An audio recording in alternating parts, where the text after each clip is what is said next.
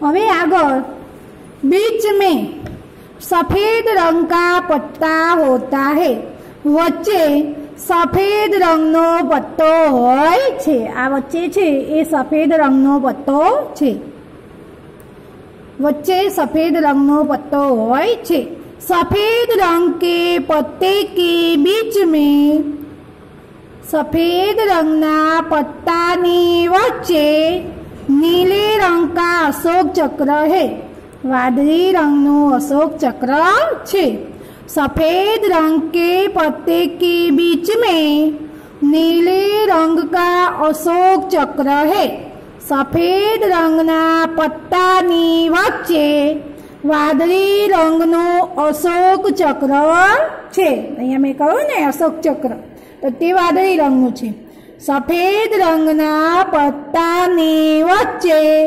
વાદળી રંગનું અશોક ચક્ર છે આગળ सफेद रंग का पत्ता और चक्र हमें शांति और उन्नति का संदेश देता है સફેદ રંગનો પત્તો અને ચક્ર આપણને શાંતિ અને ઉન્નતિનો સંદેશ આપે છે દેશ દેશમાં હંમેશા શાંતિ ફેલાયેલી રહે. દેશમાં કોઈ પણ જાતનું તોફાન, આતંકવાદ જે ક્યારેક આપણા દેશમાં આતંકવાદીઓ ઘૂસી જાય છે ને, એ કોમી રમખાણો ક્યારેય જોવા મળે નહીં. એ માટે સફેદ રંગનો પત્તો અને ચક્ર આપણને આપણા દેશમાં શાંતિ અને ઉન્નતિનો સંદેશ આપે છે. એટલે અહીંયા છે કે સફેદ રંગ કા પત્તા और चक्र हमें शांति और उन्नति का संदेश देता है સફેદ રંગનો પટ્ટો અને ચક્ર આપણને શાંતિ અને ઉન્નતિ આબાદીનો સંદેશો આપે છે सबसे नीचे हरा रंग का पत्ता है સૌથી નીચે લીલા રંગનો પત્તો છે સૌથી નીચેના ભાગમાં જે પત્તો આવેલો છે તે કેવા રંગનો છે તો લીલા રંગનો છે સૌથી નીચે લીલા રંગનો પત્તો છે हरे रंग का पत्ता हमें विकास और समृद्धि प्राप्त करने की प्रेरणा देता है हरे रंग का पत्ता हमें विकास और समृद्धि प्राप्त करने की प्रेरणा देता है લીલા રંગનો પત્તો વિકાસ અને સમૃદ્ધિ મેળવવાની પ્રેરણા આપે છે એટલે કે લીલા રંગનો પત્તો આપણો દેશ હંમેશા વિકાસ કરે વિકાસ કરવો એટલે કે આગળ વધવું. હંમેશા પ્રગતિ કરે વિકાસના પંથ તરફ પ્રયાણ કરે અને દેશમાં સમૃદ્ધિ પ્રાપ્ત થાય. હંમેશા આપણો દેશ સમૃદ્ધ રહે. તે માટે લીલો રંગ પ્રેરણા આપે છે. એટલે કહ્યું છે કે, હરે રંગ કા પત્તા અમે વિકાસ और સમૃદ્ધિ પ્રાપ્ત કરને કી પ્રેરણા દેતા હૈ. લીલા રંગનો પત્તો આપણને વિકાસ અને સમૃદ્ધિ મેળવવાની પ્રેરણા આપે છે हमें अपने झंडे का सम्मान करना चाहिए આપણે આપણા ધ્વજનું આપણા તિરંગાનું આપણા રાષ્ટ્રધ્વજનું સન્માન કરવું જોઈએ हमारा तिरंगा झंडा हमें प्राणों से भी प्यारा है આપણો તિરંગો ધ્વજ આપણને આપણા પ્રાણ કરતા પણ વહાલો છે हमारा तिरंगा झंडा हमें प्राणों से भी प्यारा है આપણો તિરંગો ધ્વજ આપણને પ્રાણોથી પણ વહાલો છે हमारे झंडे का सम्मान और रक्षा करना हमारा कर्तव्य है આપણા ધ્વજનું સન્માન અને તેની રક્ષા કરવી તે આપણી ફરજ છે તે આપણું કર્તવ્ય છે જુઓ આપણે આ રાષ્ટ્રધ્વજ છે ક્યારે ફરકાવવામાં આવે છે તો આ રાષ્ટ્રધ્વજ પંદરમી ઓગસ્ટ અને છવ્વીસમી જાન્યુઆરી આ બે આપણા રાષ્ટ્રીય તહેવારોના દિવસે ફરકાવવામાં આવે છે. તમે શાળામાં ફરકાવવા આવો છો ને? આપણે શાળાના મેદાનમાં ફરકાવીએ છીએ. હવે ત્યારે આપણે સલામી આપણા રાષ્ટ્રધ્વજને આપીએ છીએ. એ આપણે થોડી ઘણી આપણા દેશ વિશેની જાણકારી હોવી જોઈએ.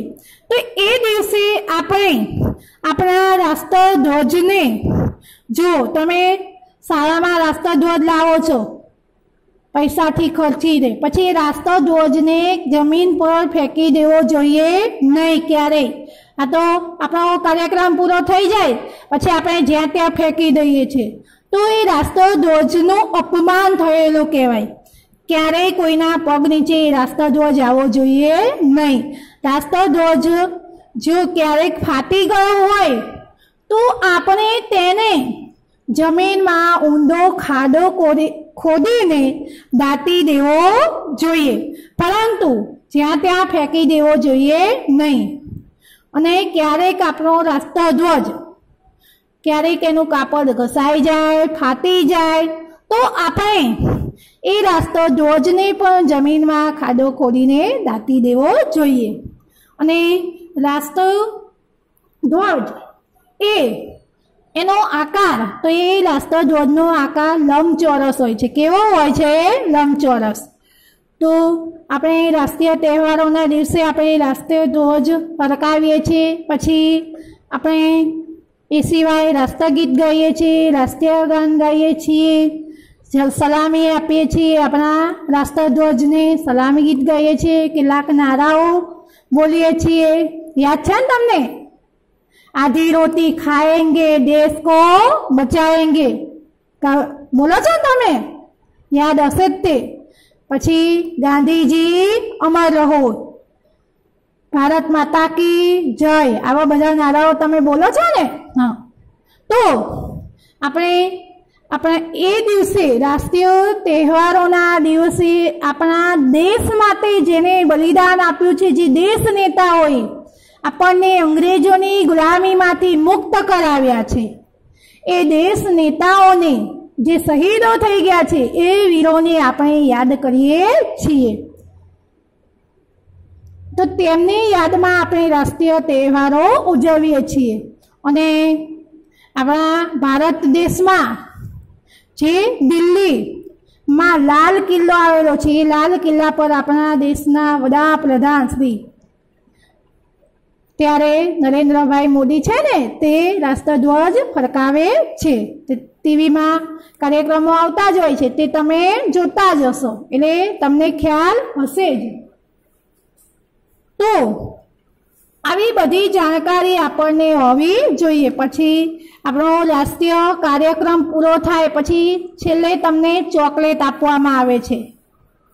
ચોકલેટ લઈને પછી તમે પોતપોતાના ઘરે જાઓ છો ને? તો હવે આપણે ફરી વખત, એક વખત આ અનુવાદ કરી લઈએ અને ફરી વખત સમજી લઈએ. તિરંગા ઝંડા હમારે દેશ કા રાષ્ટ્રીય પ્રતિક. હે તિરંગો ધ્વજ આપણા દેશનું રાષ્ટ્રીય ચિહ્ન છે. તિરંગો ધ્વજ આપણા દેશનું રાષ્ટ્રીય ચિહ્ન છે. झंडे में तीन रंग होते हैं ધ્વજમાં ત્રણ રંગો હોય છે ધ્વજમાં કેટલા રંગો હોય છે તો ત્રણ રંગો હોય છે सबसे ऊपर केसरी रंग का पत्ता है સૌથી ઉપર કેસરી રંગનો પત્તો છે સૌથી ઉપર કેસરી રંગનો પત્તો છે केसरी रंग हमें वीरता और बलिदान का संदेश देता है केसरी રંગ આપણને વીરતા અને બલિદાનનો સંદેશો આપે છે કેસરી રંગ આપણને વીરતા અને બલિદાનનો સંદેશ આપે છે કેસરી રંગ આપણને વીરતા અને બલિદાનનો સંદેશ આપે છે बीच में सफेद रंग का पत्ता है વચ્ચે સફેદ રંગનો પત્તો છે વચ્ચે કયા રંગનો પત્તો છે તો સફેદ વચ્ચે સફેદ રંગનો પત્તો છે આગળ સફેદ રંગ કે પત્તે કે બીચ સફેદ રંગના પત્તાની વચ્ચે નીલી રંગ કા અશોક ચક્ર હે. વાદળી રંગનો અશોક ચક્ર છે. સફેદ રંગના પત્તાની વચ્ચે વાદળી રંગનો અશોક ચક્ર છે.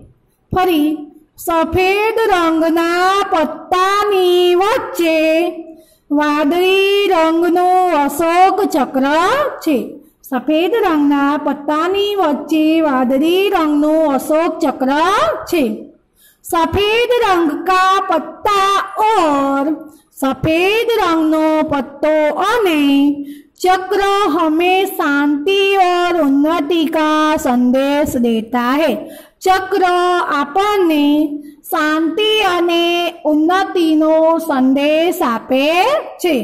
સફેદ રંગનો પત્તો અને ચક્ર આપણને શાંતિ અને ઉન્નતિ, એટલે કે આબાદીનો સંદેશો આપે છે. સફેદ રંગનો પત્તો અને ચક્ર આપણને શાંતિ અને ઉન્નતિનો સંદેશ આપે છે. सबसे नीचे हरा रंग का पत्ता है સૌથી નીચે લીલા રંગનો પત્તો છે સૌથી નીચે લીલા રંગનો પત્તો છે સૌથી નીચે લીલા રંગનો પત્તો છે હરે રંગ કા પત્તા લીલા રંગનો પત્તો हमें विकास और समृद्धि प्राप्त करने की प्रेरणा देता है લીલા રંગનો પત્તો આપણને વિકાસ અને સમૃદ્ધિ મેળવવાની પ્રેરણા આપે છે લીલા રંગનો પત્તો આપણને વિકાસ અને સમૃદ્ધિ મેળવવાની પ્રેરણા આપે છે हमें अपने झंडे का આપણે આપણા ધ્વજનું સન્માન કરવું તો સન્માન કરના ચાહીએ. સન્માન કરવું જોઈએ. આપણે આપણા ધ્વજનું સન્માન કરવું જોઈએ. આપણે આપણા ધ્વજ, એટલે કે રાષ્ટ્ર ધ્વજનું સન્માન કરવું જોઈએ. અમારા તિરંગા ઝંડા આપણો રાષ્ટ્રધ્વજ અથવા આપણો તિરંગો ધ્વજ. અમે પ્રાણો સે ભી પ્યારા હે. અમને પ્રાણો કરતા પણ વહાલો છે. આપણો તિરંગો ધ્વજ, આપણને પ્રાણો કરતા પણ વાલો છે. આપણો તિરંગો ધ્વજ આપણને પ્રાણો કરતા પણ વાલો છે. અમારે ઝંડે સન્માન, આપણા ધ્વજનું સન્માન ઓર રક્ષા કરના અમારા કર્તવ્ય હે. અને રક્ષા કરવી રક્ષા કરવી એટલે રક્ષણ કરવું રક્ષા કરવી અમારી, આપણી ફરજ છે. આપણા ધ્વજનું સન્માન અને રક્ષા કરવું, કરવી એ આપણી ફરજ છે. આપણો ધ્વજ છે, તો એ ધ્વજનું સન્માન કરવું અને તેની રક્ષા કરવી તે આપણી ફરજ છે. તો અહીંયા આપણે બે વખત અનુવાદ થઈ ગયેલું છે. તો તમારે નોટબુકમાં ઘરેથી તમારે નવા પાના પર પાઠનું નામ, તિરંગા ઝંડા મોટા અક્ષરે લખવાનું. ત્યાર પછી શબ્દાર્થ અહીંયા જે આપેલા છે તે તમારે નોટબુકમાં વારાફરતી લીટીઓમાં લખવાનું. મેં તમને શીખવાડેલું છે ને એ રીતે. એ લખાઈ ગયા પછી અહીંયા આપેલું અનુવાદ આખું. બે વખત મેં કરાવેલું છે. એટલે તમને આવડશે જ. તો આ અનુવાદ તમારે તમારી નોટબુકમાં લખવાનું છે. સારા અને સુંદર અક્ષરે. હવે આગળના પીરિયડમાં હું તમને સ્વાધ્યાય કરાવીશ.